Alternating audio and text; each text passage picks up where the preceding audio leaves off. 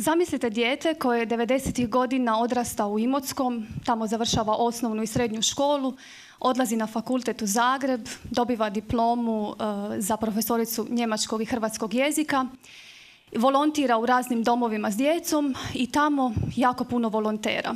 Njoj se javlja nekakva pomisao da bi možda mogla otići negdje drugo gdje je pomoć potrebnija. To dijete sam ja i nakon završenog fakulteta odlučujem se na jednu malo neobičnu ideju koja je svima oko mene, do, oko mene dočekana jako loše. Ja se odlučujem otići volontirati u Afriku sa siročadi i dolazim svojoj obitelji, svojoj majci i kažem joj što želim. Njena reakcija je bila ova. Di ćeš ti, sine?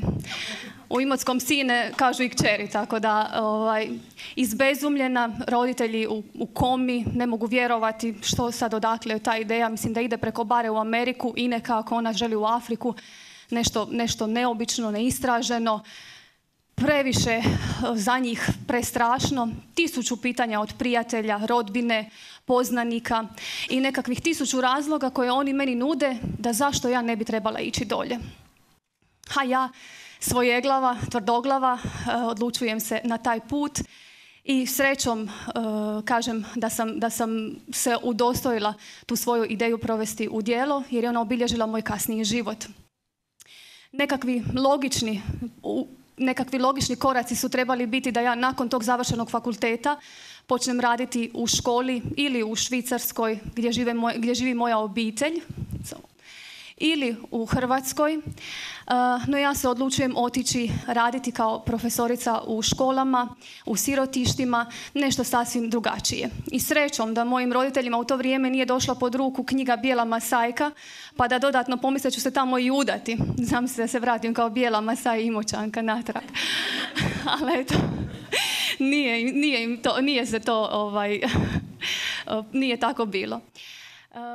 Prije polaska Naravno, e, morate se pripremiti, morate e, zaraditi nekakve novce za kartu i sve. E, odlazim sa nekakvim mirom u srcu, ali poprilično i nekako u glavi sa komentarima ljudi oko sebe koji mi stalno nekakve daju, daju ideje u smislu a gdje ćeš tamo imati jako puno side, malarije, nema ti tamo pršuta i čokolade bez kojih ja do tada nisam mogla zamisliti svoj život.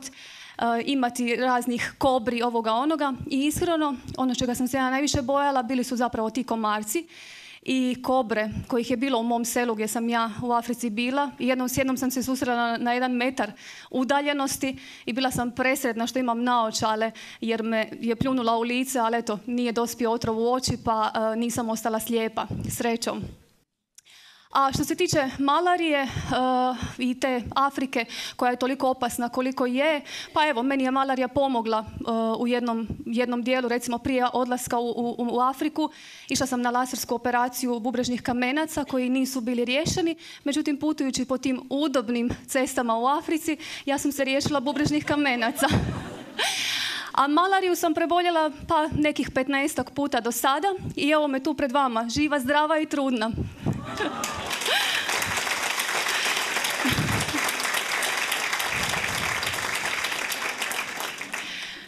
Ja prije polaska odlučujem se raditi kao lektor i profesor hrvatskog jezika za strance kako bi skupila novce za svoj put, boravak dolje koji je bio planiran tri mjeseca, ali na kraju ostajem godinu dana. I Novci su spremni, slijećem u Dar es Salaam, najveći grad u Tanzaniji. Dok od tog grada do misije u kojoj sam ja trebala boraviti je nekih 800 km. Tako da jedan cijeli dan provedete u autobusu, a i dođete u tu misiju gdje vas dočekaju. Mene je dočekao naš misionar Don Ante, gdje sam provela prekrasna tri mjeseca s njim odmah sam nakon tjedan dana počela raditi u školi, srednjoj školi kao profesor engleskog i to iskustvo je bilo prekrasno. Ti dani s tom djecom, eh, sa siročadi s kojom sam se svaki dan susretala i s kojim sam radila, bilo je stvarno predivno. Međutim, druga strana tog svijeta, tog života, svi znate kako je u Africi, mislim da vam eh, nemam što puno o tome govoriti, puno je emisija na televiziji, kako izgledaju uvjeti tamo, kako žive ta djeca. Mene su zapravo najviše u srce dotaknula zapravo dječica koja žive bosa, gola, teški fizički rad nakon škole, ako idu u školu. I evo, ovo su zapravo dječica koju vidite, koju sam ja pokušavala pomoći na neki način, šaljući ih u školu, kupujući im hranu, odjeću, obuću, no, vodeći ih u bolnicu, nekako im pokušavate ublažiti tu svakodnevicu koja je teška i, i, i zapravo za neke kobna ti pogledi te djece vam ostaju urezani u lice i meni uh, jedan dječak posebno uh, dirnuo srce. Odlazila sam kod njegove obitelji često, on je bio siroče, živio je s bakom. Baka je bolovala od uh, raka i preosjećala je svoj kraj i svaki put kad bi došla molila me da ga vodim sa sobom. Vukla me za ruku, molim te povedi ga sa sobom. A ja sam ono, gdje, gdje ću ja s tim djetetom, gdje da ja idem s djetetom, nemam gdje, ja se vraćam natrag u Hrvatsku, gdje ću s njime? Provodila sam besane noći razmišljajući što napraviti za takvu djecu.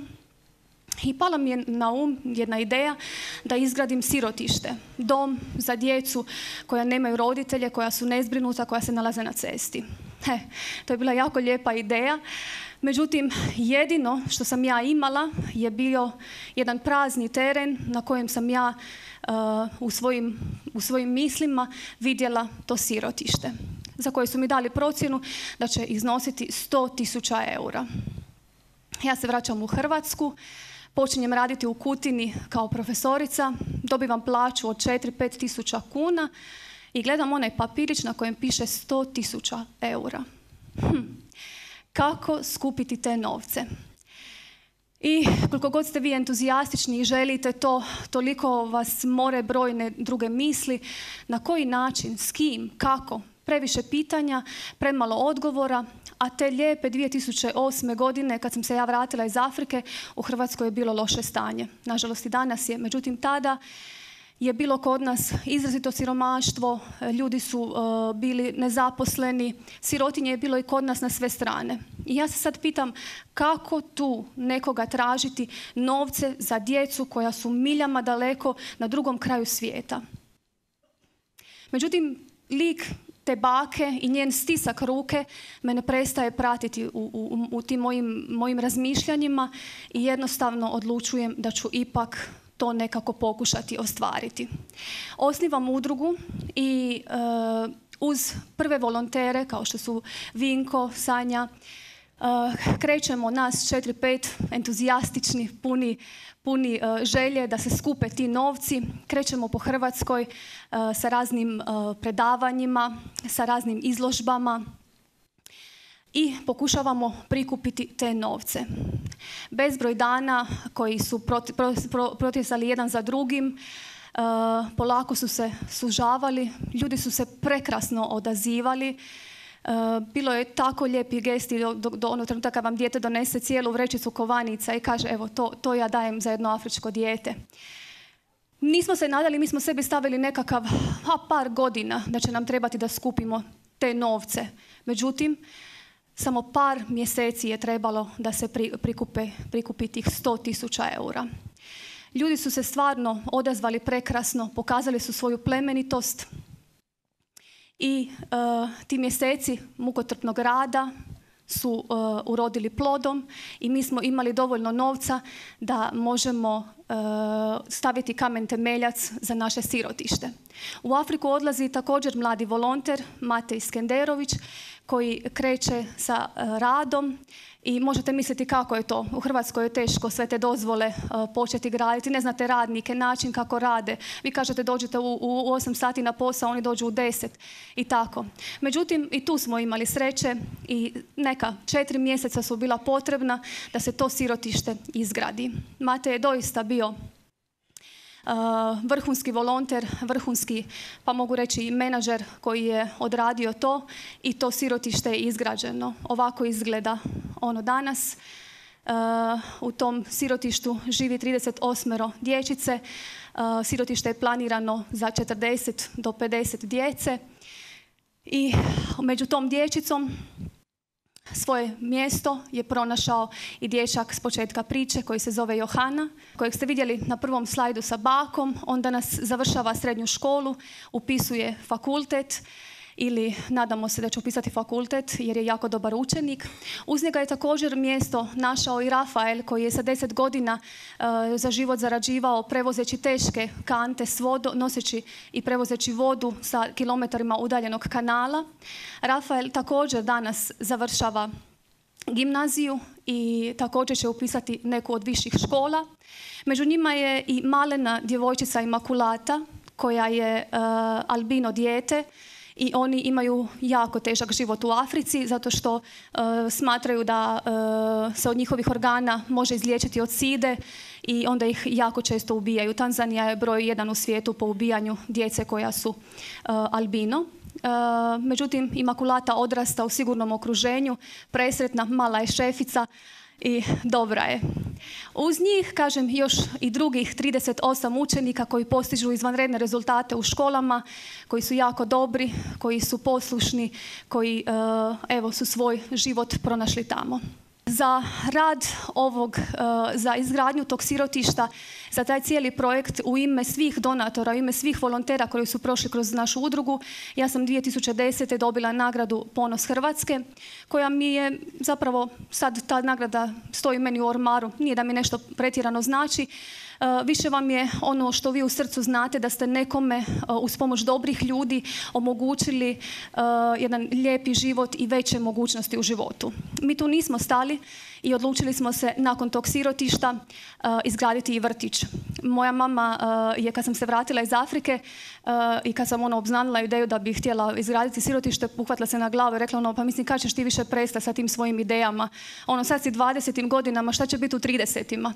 E, u 30. je došlo do vrtića koji se je sagradio e, također sa donacijama iz Hrvatske. Dobili smo namještaj i sve za taj vrtić.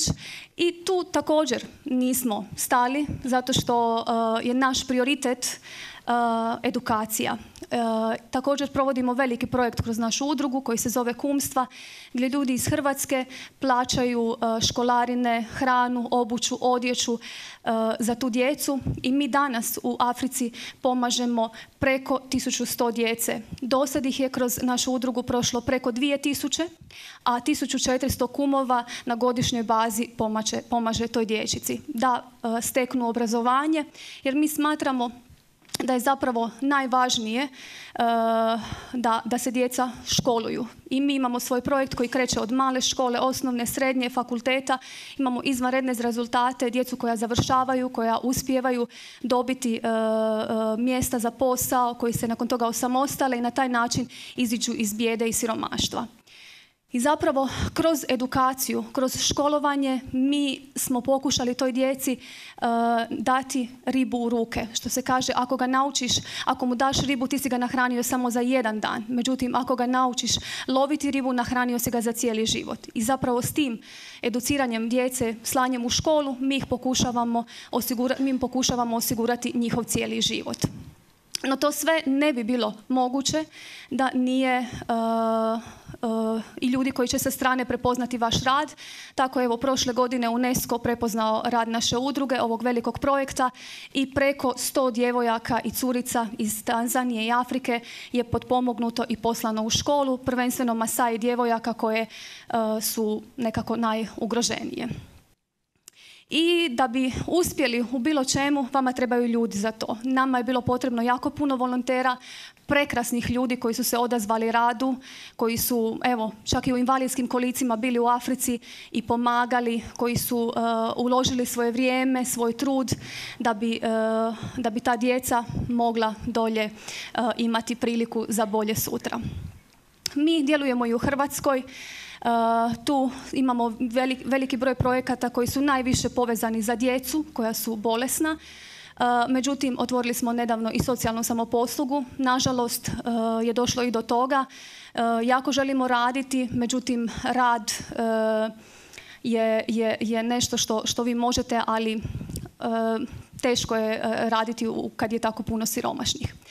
Ja vjerujem da među vama e, sigurno ima onih koji e, u svojim srcima također imaju velike ideje koji bi htjeli provesti nekakve stvari u djelo. Nemojte se obeshrabriti. Meni su brdo puta ljudi rekli ne možeš pomoći svima. Naravno da ne možeš pomoći svima. Nitko to ne može. Nismo ni pozvani da pomognemo svima, ali smo pozvani da pomognemo barem jednoj osobi. Pa evo, e, naša udruga i ljudi koji su e, vezani uz humanitarni rad uvijek trebaju nove kamenčiće u mozaiku e, dobrih dijela koje pokušavaju provesti kroz svoju udrugu. Ja vas pozivam da nađete u sebi, u svojim srcima tu snagu, upornost, uh, da se usudite malim koracima mijenjati svijet. Jer svi to možete i možete mijenjati taj svijet na dobro svih nas.